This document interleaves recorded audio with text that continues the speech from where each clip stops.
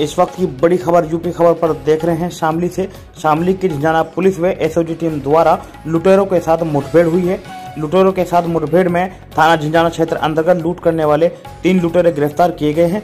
लुटेरों के कब्जे से लूटी गई मोटरसाइकिल व अवैध हथियार व ज़िंदा खोखा कारतूस भी बरामद किया गया है। आपको एक बार फिर बता दें कि झिंझाना पुलिस व एसओजी टीम द्वारा लुटेरों के साथ मुठभेड़ हुई है। शामली में मुठभेड़ हुई है। लुटेरों के साथ मुठभेड़ में थाना झिंझाना क्षेत्र अंतर्गत लूट की गई थी, जिसमें तीन लुटेरे गिरफ़्तार किए गए हैं। लुटेरों के कब्जे से तीन मोटरसाइकिल व अवैध हथियार, ज़िंदा खोखा कारतूस भी बरामद किया गया है।